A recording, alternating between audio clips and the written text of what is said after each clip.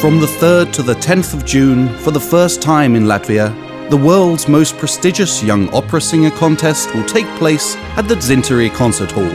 The International Hans Gabor Belvedere Singing Competition is a major turning point in every young opera singer's career from all over the world. Elina Garanča, Angela Gheorghiu, Marina Meshcheryakova, Pretty Yende, Ildiko Raimondi, Antonio Poli, and Egil Siliņš are the most known participants of the Belvedere competition who are currently performing at the world's best concert halls and opera houses.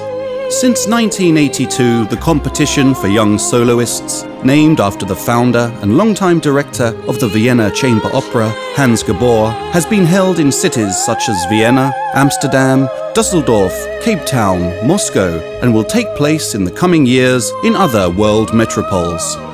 This year, Jurmala will join them from the 3rd to the 10th of June when the Dzintari Concert Hall will gather 160 of the most talented young singers from all continents. The competition will be judged by representatives of the Metropolitan Opera New York, Royal Opera Covent Garden London, Bolshoi Opera Moscow, Deutsche Oper Berlin and other opera houses where the winners of the Belvedere competition will have the opportunity to perform in the near future.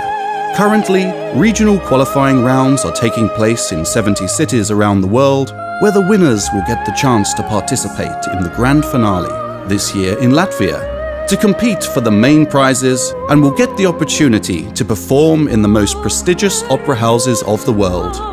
See you in Dzintari Concert Hall from the 3rd to the 10th of June in the finals of the 37th International Hans Gabor Belvedere Singing Competition.